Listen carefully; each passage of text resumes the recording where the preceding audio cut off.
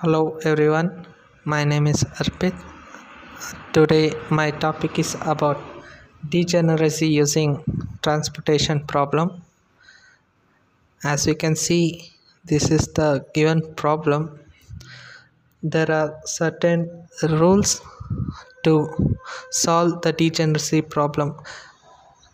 First, we'll see what is degeneracy problem. Degeneracy problem occurs when the when the uh, solution gives uh, when the solution is uh, like where number of allocated cells is not equal to number of rows and columns then we'll we will have to go to degeneracy problem.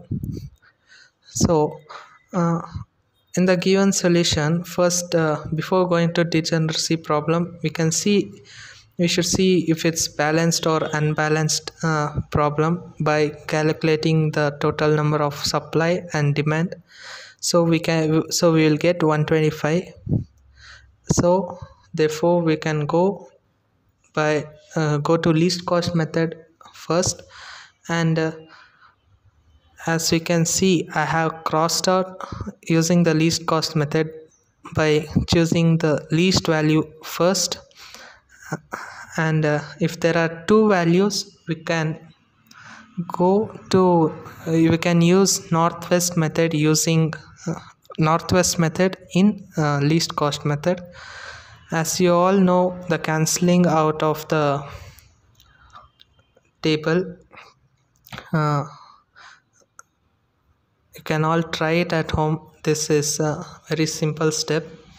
And after this we should uh, next uh, uh, next find the z value by we can see that uh, the allocated cells we should calculate uh, which gives the z value that is uh, as you can see 20 into 2 and uh, 15 into 3 and so on. All the allocated cells i have arranged in in the equation which gives the total of 890 but now we should after that we should go to the phase 2 which is uh, to find the number of allocated cells are equal or not to the number of columns and rows. So the, there is a formula called as m plus n minus 1 is equal to number of allocated cells where m is number of rows and n is number of columns so as you can see there uh, I have solved that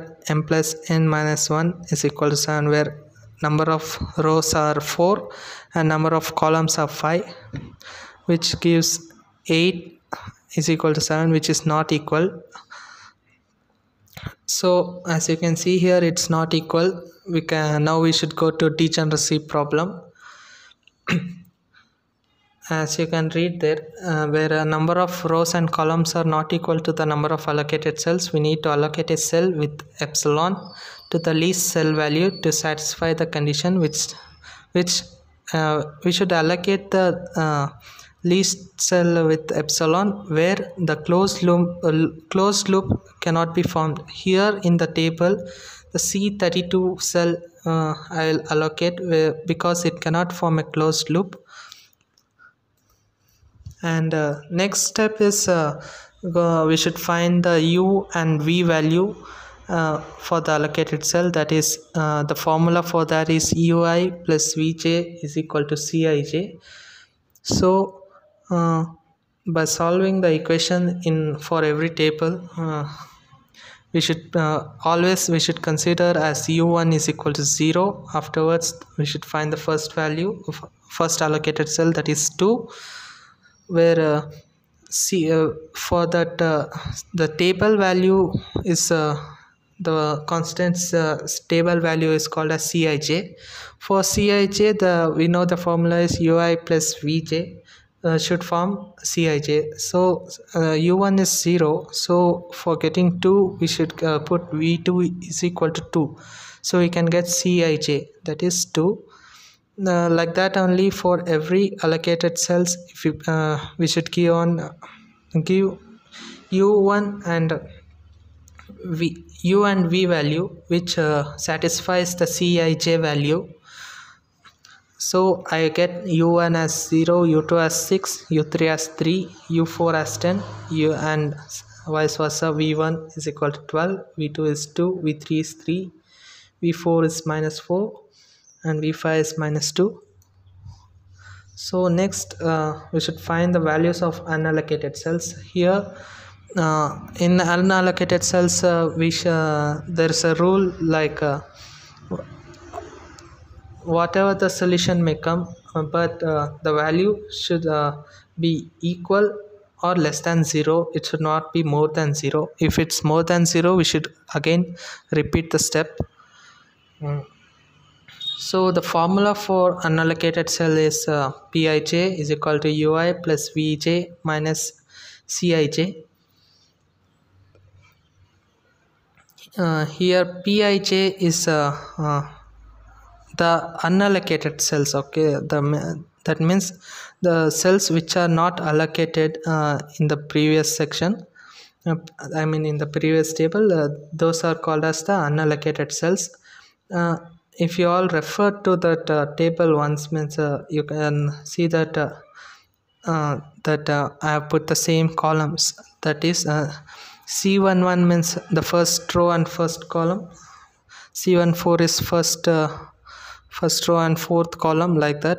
I have seen I have checked the unallocated cells and put the put their values like C11 C14 C15 and substituting the u value and v value and the cell cij value which gives me this solution like you can see in, see on the screen. And here there are all the values are negative except uh, c11 and uh, c41 uh, which is plus 2 so uh, now we should go to next step uh, like uh, next step is we should now there is a c11 right? Uh, uh, we can see that right? C c11 and uh, c41 are the are the values uh, which are positive.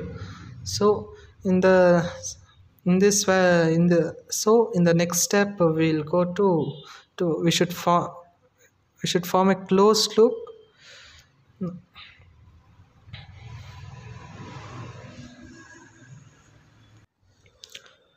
yeah sorry that uh, even c21 uh, is 13 that's also a positive value.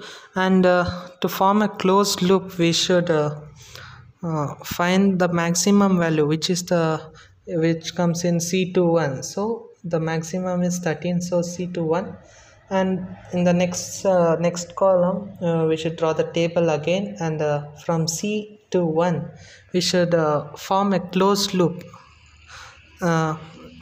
uh, drawing the we, uh, to form a closed loop we should draw only horizontal and vertical lines. Which should uh, it should form a closed loop uh, by joining the allocated cells only. Uh, the so the lines only take turn where the allocated cell ends. So uh, i have formed the closed loop as you can see and given each points as negative and positive and in this uh, as you can see the uh, in the closed loop we should uh, in there are negative values. So in the negative values which are which is the minimum value as you can see it's 20 in the negative cells. I mean in the closed loop the negative cells 20 is the uh, ne- negative uh, negative cells 20 is the allocated cell. Least 20 is the allocated cell. So we should uh, subtract uh, 20 from the negative uh, and that is uh, minus sign and add 20 where there is plus sign. So i get the i get this solution uh, as you can see and mm,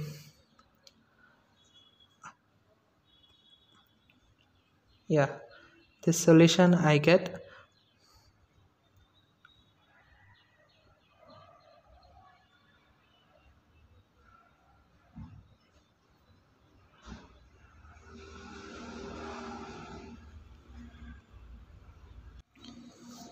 as you can see uh, I mean skip the, the C21 sigma value uh, sorry C12 sigma value.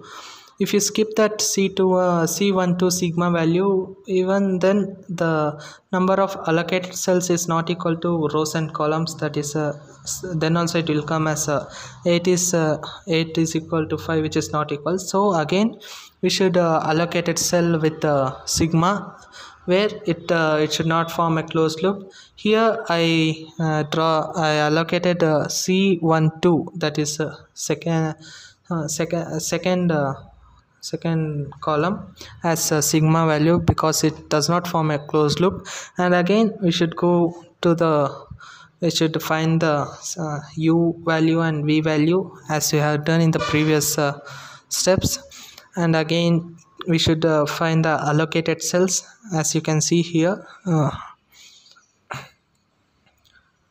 that is uh, pij is equal to ui plus vj minus cij and uh, after solving all the solution we can as you can see here we'll, we, we are not getting any positive values.